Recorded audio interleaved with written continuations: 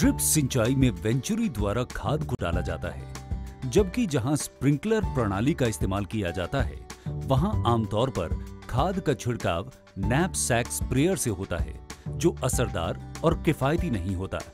हाथ से खाद का वितरण भी असमान रूप से होता है, जिसके कारण फ़सल को अच्छी तरह से पोषण नहीं मिल पाता। किसान भाइयों के लिए एक ऐसा अनोखा और क्रांतिकारी उत्पाद जो खाद का छिड़काव करना बनाए आसान और उपज को और भी बेहतर।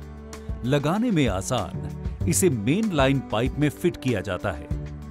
एक बाईपास ढांचे की तरह बना, ये पानी के बहाव की मदद से एक दबाव बनाता है, जो खाद को बाल्टी से लगातार खींचकर मेन लाइन पाइप के पानी में खाद को मिलाता रहता है। और ये एक मिश्रण बनाकर पहले से मौजूद फव्वारों के माध्यम से फ़सल को पोषण देता है।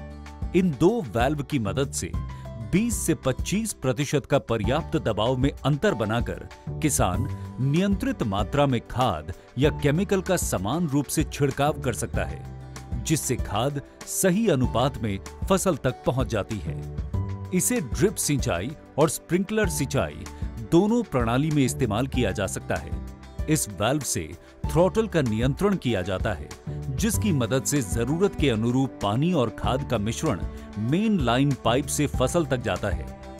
वेंचुरी मैनिफोल्ड देता है किसानों को कई फ़ायदे, जैसे नैपसैक स्प्रेयर से आज़ादी, खाद का समान रूप से छिड़काव और पैसों व मेहनत की बचत।